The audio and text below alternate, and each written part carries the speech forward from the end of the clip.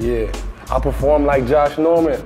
I ain't normal. Yeah. I got E, E, E, I, E, E, E. I love that song, bro. Was this before or after? Actually, that was pretty much um, before all that stuff was going on. It was, it was crazy because, you know, I actually met him out here. Yeah. Like, I'm not even far from where I'm at now. When when he said when he said that, I said, oh, I know him.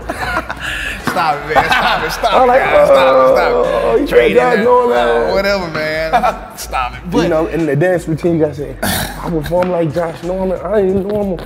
Hey, I'm trying to tell you, you got I got a whole, it, I got her routine, man. It's dope, man.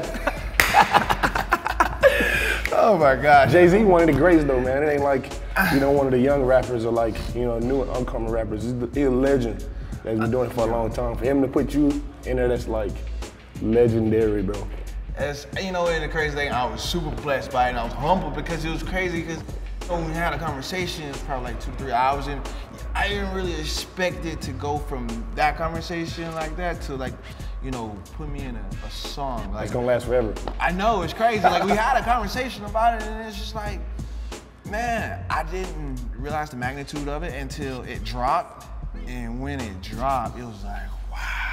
Especially like a song like that, bro. That's a, that's a It hit. That's a bananas. It is. It is. And then everybody play it, so you hear it over and over again. And you, you know the lyrics. I mean, the verses that he had in the song was just like bananas. Yeah. He went back old school with it. I feel. And then, Beyonce, I bra- my wife Beyonce, I brag this. I mean, I brag different. Shoot, I dream of color. I mean, like, like it- it's it's unrealistic. I mean, he brought in his daughter.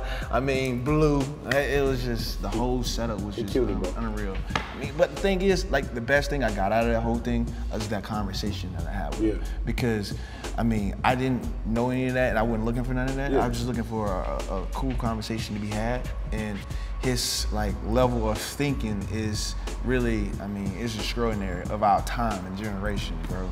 He's just a cool dude. super dope, bro.